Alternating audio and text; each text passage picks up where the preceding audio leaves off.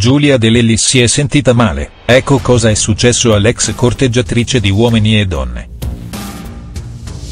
L'ex concorrente del Grande Fratello VIP 2 è influenzata. Tra pochi giorni per Giulia De Lellis sarà un giorno molto importante. Il motivo? L'ex corteggiatrice di Uomini e Donne compirà 23 anni.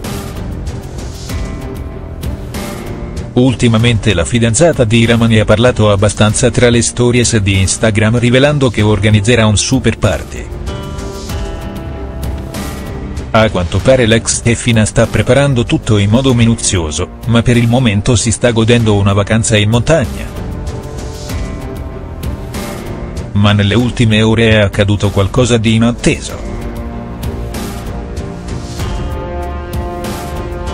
Ecco cosa ha dichiarato sul social in cui conta oltre 3 milioni di followers.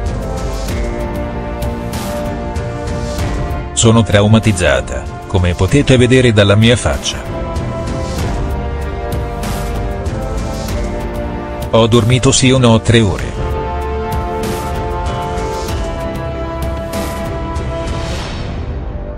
Sono influenzata.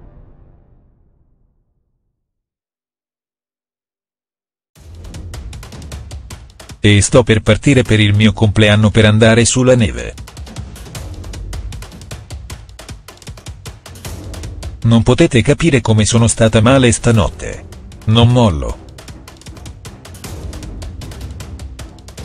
Vado a fare la valigia.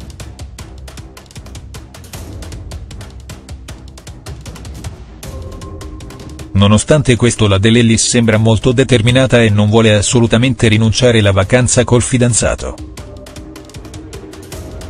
Giulia De Lellis contenta per la vacanza in montagna e del suo ventitreesimo compleanno. Attraverso delle stories su Instagram Giulia De Lellis ha precisato che domenica non era il giorno del suo compleanno. E prima che il suo amato Irama sbarca alla 69esima edizione del Festival di Sanremo, l'ex concorrente del Grande Fratello VIP 2 ha confessato questo. No, non è il mio compleanno oggi.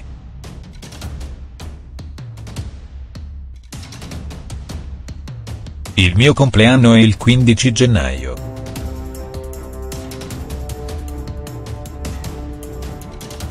Volevo andare sulla neve e poi festeggiare al mio ritorno.